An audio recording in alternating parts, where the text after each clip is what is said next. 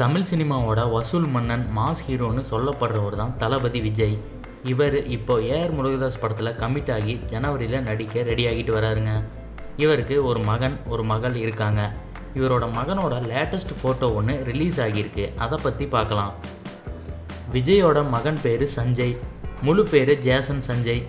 விஜய் நடித்த வேட்டக்காரன் படத்தில் தான் விஜய் தன்னோட மகனை வெளி உலகத்துக்கு அறிமுகப்படுத்தினார். நான் அடித்த தாங்க மாட்ட பாட்டில் ரெண்டு பேரும் செமையாக ஆடியிருப்பாங்க. சஞ்சய் தரமணியில் இருக்க அமெரிக்கன் இன்டர்நேஷ்னல் ஸ்கூலில் தான் படிச்சிட்டு இருக்காரு. சஞ்சய்க்கு கிரிக்கெட்னா ரொம்ப பிடிக்குமா? இதனால விஜய் ஒரு ஸ்பெஷல் கோச்சை வச்சு ட்ரெயின் பண்ணிட்டு வராரு.